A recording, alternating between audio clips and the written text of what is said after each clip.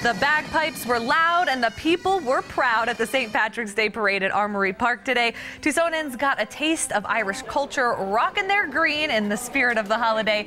The windy day did not stop families from enjoying all of the festivities with endless food, drinks, and capping the day off enjoying all of the floats and colorful characters in the parade. And if you